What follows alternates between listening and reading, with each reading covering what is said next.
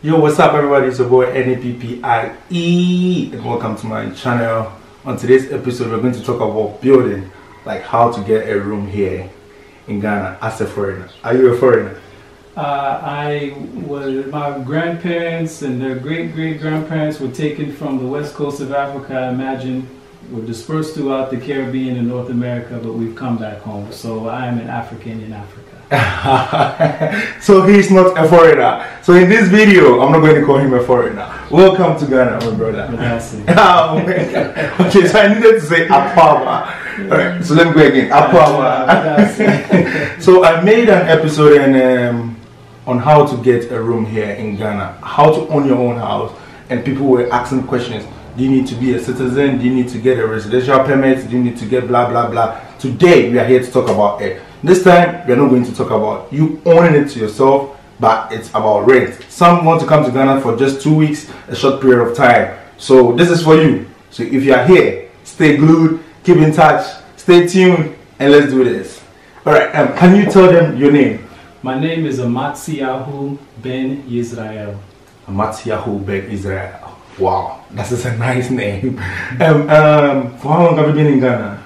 This is my third trip to Ghana. My first trip was in 2016, and then last year in the springtime of 2018, and then I returned permanently in December of 2018. So I've been here consecutively about nine months now. Nine months, all right. so um, talking to Dusai, uh, Dusai York was having eight months in Ghana, so you are probably a month older than him. so um, this is your place, and um, for how long have you been here?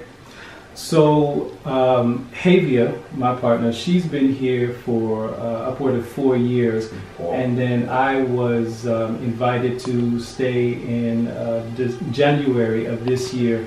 So I've been here about eight to nine months, and um, I think this is this is actually a very good episode that um, is being shown because uh, when people in the diaspora are thinking about coming home to Ghana housing is, is a great consideration. You know, where will I live? How will I live? Will I have the same experience, the same lifestyle as one may be enjoying or experiencing abroad?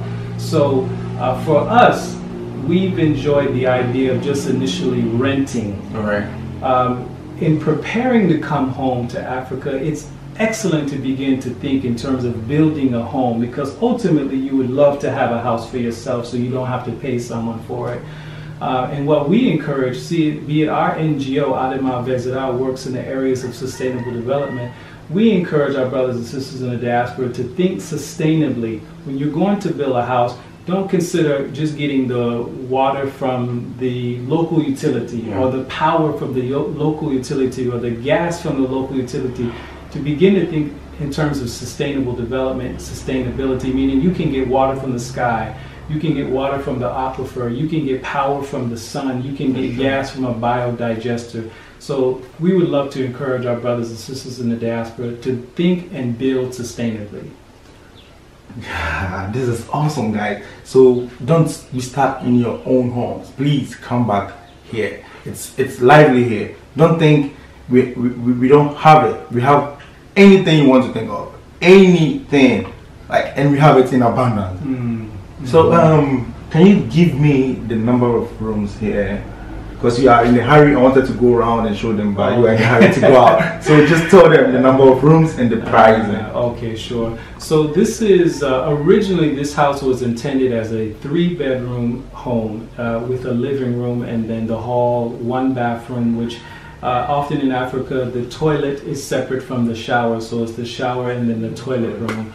Um, when I came here, and this is an interesting point, uh, when I came here and I had, I saw the layout of the house, and I, I shared with Havia, I said, well, you know, oftentimes our people think, uh, don't think in terms of assets, you know, turning something into an asset. We, we oftentimes have been taught to be consumer, you know, a consumer mentality, but it's good for us to begin to think in terms of things becoming assets so I said to Havia, I said, well, have you ever considered Airbnb? Yeah. Because what we could do is we could turn the living room into the master bedroom, and then the other rooms uh, an additional room be opened up and we could begin to use two of the rooms for Airbnb and in turn the house can become a revenue stream for us. So we did just that. We made the investment into the furniture and the appropriate furnishings and then we began to invite guests and we've had guests come time and time again. So the house now creates income for us. So it is now a four bedroom home, and then the hallway, we configured that to become the, the living area, if you will, which we put a dining table in the, in the, uh, in the hallway. And um, so uh, we pay roughly the equivalent of 65 US dollars a month for this house for a four bedroom then we have the apartment in the How back. How cheap is that? then we have the apartment in the back, which we use as not only a guest room, but we also have the classroom and the kitchen for our culinary program, uh, as well as the classroom for our Institute for Sustainable Development, Adema Vezira, where the children come and they will often do projects in the classroom. And there we pay a little bit less. We may pay about 50 US dollars a month. So uh, combined, we pay a little bit over one, uh, a little bit over one hundred dollars a month for a four-bedroom home, uh, a one-bedroom apartment, and the landlord has allowed us to use the garden at no charge. So we grow our own food here. We have solar on the house. We have a well in the garden, so we get water. We get power for free. I mean, it really is paradise. Where in the U.S. will you get this kind of house or home to rent for $100. Four bedroom homes. Oh my God, you just can't believe it. So please come home. Uh, do you need any permits? Like as you coming from the US, do you need any permits to rent a house? Anything? Uh, no, there's no permit. Um, if I can look deeper into the question, uh, there definitely are things to consider when looking at staying long term in Africa uh, in general, uh, any African country. Um, so Ghana, uh, much like every other country, has visa limitations. Your visa, when you get it stamped at the airport, it allows you to stay for a particular period of time. So there are definitely considerations when you're saying I intend to live in Ghana long term. You would want to look at what are the requirements to ensure that you keep your visa, your passport, and your status uh, in good standing. But you don't need any type of uh, permit to just come and rent a home, to buy a home, to buy land. These things don't require permits, but you would still want to learn is there anything specific to uh, the visa and uh, but from our experience um, yeah, everything is fine so let's let's let's put it this way your last words for your people who want to come home and stay Mm-hmm. What advice will you give to them? My advice would be to have great courage, to be of good faith. There are challenges everywhere you go. It's not specific and limited to Africa. There are challenges everywhere you go.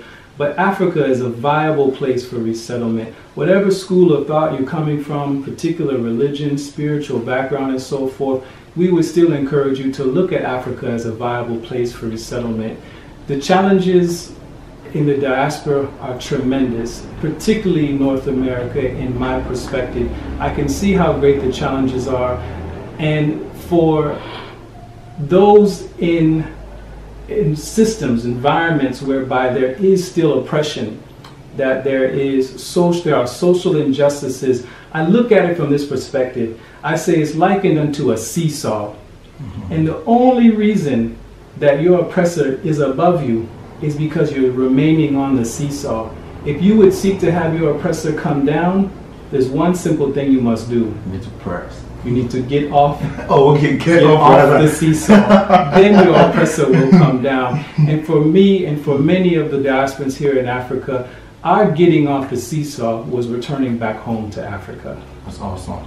So you need to get out of the seesaw and return back home. I, I learned you have a YouTube channel. Yes. Yeah, and um, I want people to reach out to you. Sure. So sure. can you give them the name of the channel? Sure. And any contact, sure. like your Gmail, your email address, yes. anything. Okay. So give it to them. Sure. Uh, we just recently started a YouTube channel. It's called Amatsiyahu in Eden. Uh, the email is amatsiyahu in Eden at gmail.com. I have a point of contact uh, plus 233 54 235 1955 Uh, I'm on Facebook uh, at Amatsiyahu Yisrael, and uh, feel free to message us if you have any questions, comments, and concerns. Thank you so much. Thank you so much. Like this has been an amazing episode. All I really wish we would take this whole day to do this. Like it's an amazing thing. Like thank you so much. I really appreciate it. Oh. And see you another episode. Peace out, guys.